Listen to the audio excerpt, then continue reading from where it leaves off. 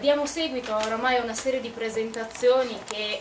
hanno un notevole successo oramai da tempo nella, nella nostra libreria, siamo molto contenti che il pubblico sia sempre numeroso. Oggi ospitiamo Roberto Gargiulo che mi ha raccontato di un viaggio odissiaco per riuscire a raggiungere, raggiungere Milano, ma nonostante questo sì. è qua pronto a presentarci il suo libro su Dracula, la biografia di Vlad Tepes, principe della Valacchia. Quindi io cedo la parola a Roberto e a, e a Giuseppe. Buona presentazione a tutti. Grazie. Grazie a Iacabu che ci ospita, che ci ha ospitato per molte tappe, questa è l'ultima del ciclo Medioevo Quante Storie, dedicato agli incroci tra storia e letteratura, incroci che hanno portato a molti bei risultati sia dal punto di vista della saggistica sia dal punto di vista della narrativa. Questa sera abbiamo un saggio, quindi non un romanzo, anche se certi toni, certi momenti sono romanzeschi, tant'è vero che il personaggio a cui è dedicato ha contribuito a un grandissimo filone letterario e diciamo anche cinematografico di successo. Scusate la voce, sono due giorni che la risparmio, però ci tenevo a farlo perché, perché il libro merita, l'argomento è veramente affascinante e la vostra mh, numerosa presenza qua me lo conferma, e poi perché io stesso ho inaugurato questo ciclo nel lontano settembre con un altro bel saggio dedicato a un'altra bella figura, Renzo, figlio di Federico II di Svevia, eh, era anche questo con un'editrice bolognese come quello di oggi, editrice Minerva, di cui saluto e ringrazio il responsabile Guido Mugavero. Eh, che dire, io non ruberò, ruberò solo 5 minuti per introdurvi a questo argomento che è un po' particolare perché qui sfattiamo un mito che è dire consolidato e dire poco. Noi abbiamo questa immagine del vampiro, mantello nero, canini, pallido, sangue che scende dalle gengive, eh, occhio al collo, paletti, e forse qui ci avviciniamo un pochettino alla realtà storica, paletti di frassi, però non sono proprio paletti non piccolini, sono proprio grossi. Io ho conosciuto il personaggio, paradossalmente, il personaggio storico di Dracula quando sono andato a vedere al cinema, un bel po' d'anni fa, il Dracula di Bram Stoker di Coppola. Perché nei primi minuti appare questa scena, finalmente, diciamo finalmente, perché dopo comunque i, i contributi cinematograficamente apprezzabili con Christopher Lee, Bela Lugosi, quelli un po' più divertenti con Fracchia contro Dracula, per favore non mordermi sul collo, o anche quelli musicali con Dracula Cia Cia Cia, cantati dai mitici Renato Rascher e Bruno Martino, che insomma hanno spopolato nelle estati degli anni 60-70. Ecco, appariva, anche se solo per qualche minuto e con un'armatura piuttosto improbabile, ecco, diciamo più debito verso i samurai giapponesi che non verso l'armeria la, militare del XV secolo europeo, questo, questa figura di questo principe della Valacchia, Transilvania, Valacchia, l'autore ci spiegherà bene oggi. Ci dobbiamo spostare, fare un salto di 5 secoli e mezzo. In realtà sarebbero un po' meno, perché il Dracula che noi conosciamo attraverso il cinema, quello del vampiro, nasce, o meglio, si consolida con quello creato da, dall'irlandese Bram Stoker nel 1897 in realtà il Dracula storico, Vlad Tepes, Vlad III, nella linea di governanti del suo paese, la Valacchia, che si trova qua, nasce il 2 novembre, pare, del 1431 a Sighishoara, una città mh, al confine con la, verso la Transilvania, diciamo così, quindi la Transilvania in qualche modo c'entra e c'entrerà come scopriremo. Cosa succede in Europa in questo 1431? 31 o comunque in questi anni, perché è importante capirlo? Perché è importante capire che questo personaggio qua, al di là della, della figura eh, mitica legata alla crudeltà al sangue, ha rappresentato una figura di rilievo nel suo secolo, non solo per l'area balcanica, ma in generale per tutta l'Europa. Ora, è una domanda un po' da what if eh, anglosassone, quello che dice il professor Tomasi Carpegna Falconiere la chiama storia controfattuale, cosa sarebbe successo se non ci fossero stati valacchi e albanesi in quegli anni in cui Ungheria, Austria, Boemia e Polonia, più che opporsi ai turchi, litigavano tra di loro, più che fare da crociate di difesa con l'Europa, utilizzando i soldi che il papato gli mandava, gli mandava per loro mh, come dire, motivi personali invece che aiutare chi era impegnato in prima, linea, in prima linea sul proprio terreno, sul proprio paese e magari anche pugnalandoli alle spalle, come vedremo qualche volta. Alla fine lo stesso Papa, che uno non direbbe mai, ma elogiò, ci fu un periodo in cui elogiò Dracula per il suo impegno isolato, si stava decidendo a imbarcarsi per la crociata, non vi anticipo cosa, cosa fece, concludo solo dicendo che la, il rapporto tra la Valacchia e il resto dell'Europa e anche l'Italia effettivamente in questi anni si vede anche dalle testimonianze degli ambasciatori, degli emissari, abbiamo ambasciatori veneziani, ambasciatori pontifici, ambasciatori milanesi, lo stesso eh, comandante di Ungheria, detto Cavaliere Bianco, Iano Sugnadi, che era di origine diciamo rumena, transilvana, Iancu di Huneodara, una città della Transilvania, è stato al servizio del duca di Milano per un certo periodo. Pippo Spano, che forse qualcuno di voi aveva visto agli Uffizi di Firenze in quel dipinto con questa sciabola, questa splendida armatura, si vede il volto barbuto senza elmo, è il nome slavizzato di Filippo Scolari, comandante toscano al servizio del regno di Ungheria e anche degli Asburgo nelle guerre ussite e alla cui scuola militare si formò Iano Sugnali, protagonista del saggio di cui parleremo oggi. Io intanto sono debitore a Giuseppe per almeno due motivi. Primo perché mi ha risolto un problema che definirei essenziale, nel senso che mi ha permesso di essere qui oggi, è stato il mio tom tom reale e non virtuale perché senza di lui io probabilmente sarei ancora perso in qualche anello della circonvalazione a cercare un'uscita data perché non riuscivo io. E poi per l'introduzione perché lui ha fatto un'introduzione storica secondo me estremamente calzante e precisa che permette quindi di inquadrare bene il personaggio e l'epoca in cui si trovò ad operare. Però devo dire una cosa eh, questo libro nasce anche da un'esigenza particolare come tutti gli archeologi di formazione, anche se poi strada facendo viene in qualche modo contaminato, come nel mio caso dalla storia, dalla storia medievale, dalla storia militare, ti rimane una perversa esigenza interiore di andare alla radice di qualcosa, di una storia, di un personaggio, di un gruppo, di un popolo e così via. Una radice che è fatta anche sì di ossa, di vestigia, di reperti, ma è fatta anche di storie individuali, di persone, di percorsi umani. No? Ed è quello che è accaduto a me nel momento in cui ho avuto l'idea di eh, di questa biografia di Dracula. In realtà mi ero occupato, mi sono occupato a lungo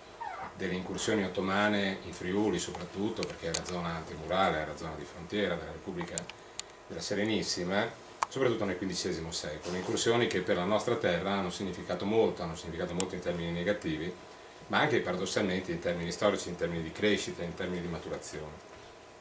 Voi pensate solo che io abito a pochi chilometri da le terre pasoliniane dalla casarsa dei Pasolini, quindi dalla casarsa dei Turks, che voi avrete sicuramente sentito nominare. Ecco, eh, sin da bambino eh, respiri questo mito, queste iscrizioni ti sono sotto gli occhi tutto il giorno e quindi la curiosità finisce col coinvolgerti, anche se non vuoi. E da qui nate, è nata per esempio nel mio caso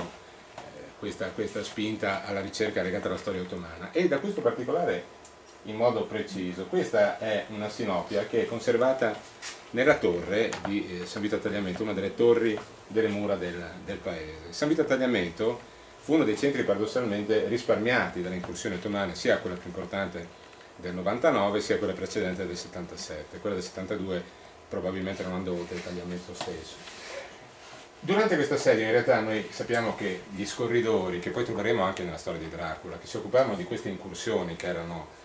davvero bestiali, nel senso che nascevano da una precisa esigenza politica, che era quella del sultano di turno, di indebolire e logorare l'avversario di turno, in questo caso la Serenissima, ma potevano essere le terre imperiali, piccoli potentati balcanici, attraverso delle incursioni nelle quali sostanzialmente si dava carta bianca, mano libera,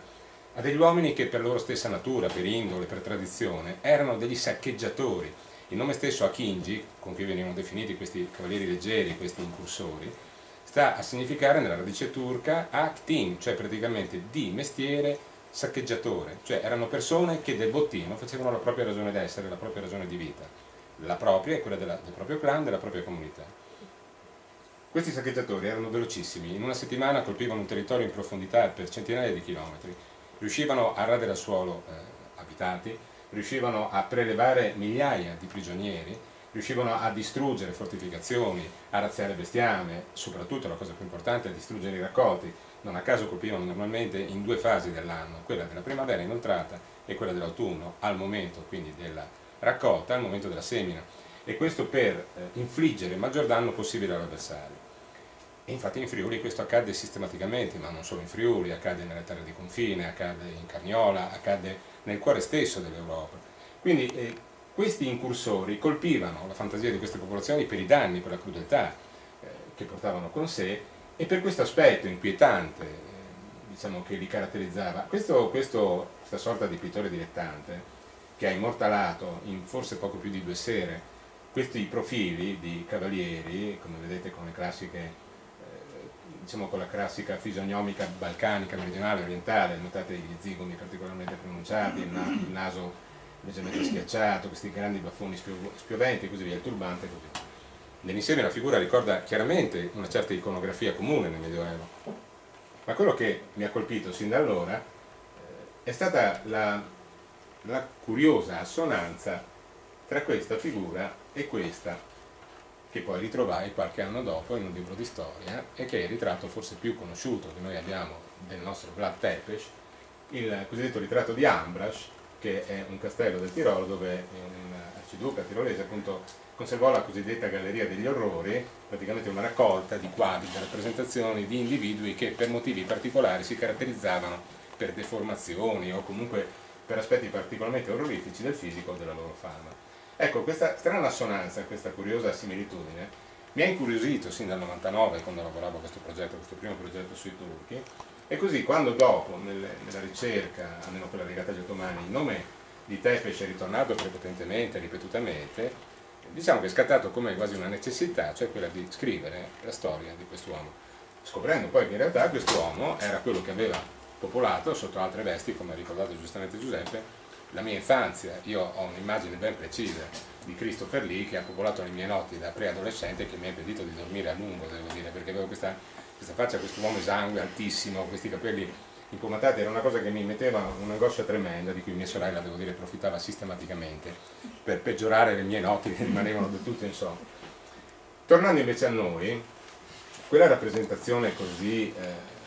come posso dire, così semplice, così eh, da principiante, diciamo, nella sinopia, si collega al nostro Tepes attraverso questa sorta di anello di congiunzione. Questo è un Voynich, cioè è un ausiliare leggero della fanteria valacco-moldava. Era un combattente in buona sostanza che eh, costituiva l'essenza stessa, l'asse portante dell'armata, di cui poi parleremo, con cui i valacchi affrontarono sia la marea montante ottomana sia le lotte tra potentati che, come ricordava Giuseppe, appunto hanno caratterizzato soprattutto il XIV secolo. Quindi da questo dinamismo di fatto, dicevamo, gli ottomani continuarono la loro opera di espansione nei Balcani.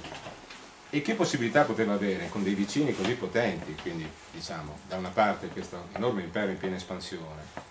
e dall'altra il Sacro Romano Impero con gli stati adesso in qualche modo connessi come il Regno d'Ungheria che quindi rappresentavano gli antemurali, l'ultima frontiera delle potenze cristiane in Oriente come poteva un piccolo potentato, come era in questo caso il Principato di Valachia o anche quello eh, di Moldavia, tentare o sperare di resistere a, diciamo, di, di, mantenere il sogno di una indipendenza, di poter sopravvivere in maniera pure semplice. Eppure nonostante questo la storia della, dinastia Draculesti, ma eh, della stessa dinastia Bessarabica, è l'incarnazione di come un insieme di ambizioni, di sogni dinastici, di, come potremmo definirli, anche di identificazione col proprio popolo e con la propria terra, impedì a questi uomini di rendersi conto dell'inanità di di questo sogno e li coinvolse in una faida che di fatto durò qualcosa come tre secoli, consumando le loro vite e quelle della loro stessa popolazione. In fondo, eh, come ricordava Giuseppe, il primo grande sovrano in Valacchia fu questo Bessarab, che darà proprio Bessarab I, che dà, detto anche il fondatore, non a caso, che darà il nome all'intera eh, dinastia e sarà lui che in qualche modo riuscirà a gettare le basi della futura Valacchia e quindi quello che sarà il nucleo storico, se vogliamo, dell'attuale Romania, perché come ricordava Giuseppe, la Romania noi sappiamo è costituita da tre, attualmente, ma anche allora, da tre nuclei fondamentali, la Moldavia, la Valachia e la Transilvania. Transilvania, come ricordato prima, che era formata da almeno tre etnie diverse tra loro ed era in ultima istanza eh, uno Stato vassallo dell'Ungheria e quindi come tale rappresentava soprattutto una frontiera irrequieta e indocile della potenza magiara, la Valachia che aveva una omogeneità etnica maggiore e la Moldavia che in qualche modo deriva la sua stessa nascita, la sua stessa esistenza dalla Valachia stessa. Eh, con Mircea il Grande, che fu forse il più grande sovrano appunto della dinastia bessarabica, la Valachia diviene qualcosa di più di un potentato di confine, si lega alle grandi correnti commerciali e politiche dell'Europa e dell'Europa centro-orientale in particolare, inizia a godere di un periodo prolungato di floridezza economica e politica interna, getta le basi insomma di quello che potrebbe divenire un vero e proprio Stato autonomo e abbastanza eh, potente, cosa che tutto sommato non viene vista di buon occhio né dall'Ungheria, come è ovvio perché non dimentichiamo mai che la lotta anche di religione tra questi grandi potentati eh, cristiani cattolici come appunto l'impero e l'Ungheria e questi piccoli potentati come la Moldavia e la Valachia, rimasti orfani dopo la caduta di Costantinopoli del loro patriarcato, segnerà tutta la storia dei Balcani. La diatriba tra queste forze cristiane al loro interno era tale per cui spesso, e accade in particolare per gli ortodossi, preferirono darsi, donarsi o cedere semplicemente alle pressioni ottomane piuttosto che soggiacere a quella che era invece il controllo e la dire, il tentativo di, di, vassallaggio esercitato dalle potenze cristiane e cattoliche di confine come era appunto quella ungherese. Non a caso, come ricordava giustamente lui, eh, la vita stessa dei dinasti valachi sarà caratterizzata, al di là del fatto che fossero in muto tra di loro, proprio da questo difficilissimo eh, tentativo di gioco politico che li portava a mh, vivere sul filo tra diciamo, nel rapporto tra questi due giganti, tentando disperatamente di sopravvivere, che era la loro unica istanza in ultima analisi. Però, come ricordavo prima, mh, da Mircea il Grande, con Mircea il Grande, in realtà la dinastia bessarabica si divide in due dinastie, in due sottodinastie. Quella che noi chiamiamo dei Draculesti, adesso scopriremo perché, e quella che viene conosciuta come Danesti, dal nome di Dan II, che era un fratello di Mircea, da cui si originerà quindi un ramo collaterale della dinastia principale, che però sarà diviso da quello dei Draculesti da un odio atavico che caratterizzerà il succedersi continuo dei sovrani sul trono di Tilgovist. In questi casi, come ho detto fin dall'inizio, con questo chiuderei, perché sennò... Eh, la prima vittima di tutta questa operazione culturale e letteraria è stato inevitabilmente il personaggio storico, che si è perso nelle ombre del passato, perché solo ora, attraverso una meritata opera di recupero eh, e attraverso fasi intermedie che per esempio hanno coinciso con epoche particolari, non a caso Ceausescu durante l'epoca del dispotismo eh, in Romania negli anni 70-80 aveva fatto di Dracula un eroe nazionale, eh, non per quello che era la reale valenza da un certo punto di vista, indubbiamente fu un personaggio importante per la storia valacca, ma perché lui poteva identificarsi col piccolo padre di tradizione ortodossa che eh, per certi aspetti è ancora sentito come tale. Ho alcuni amici rumeni, o anche il buon professor Bulei quando me ne parlava a suo tempo facendo nascere in me le prime curiosità, uomo razionale, uomo colto, uomo intelligente, oppositore del regime e tutto quanto, eppure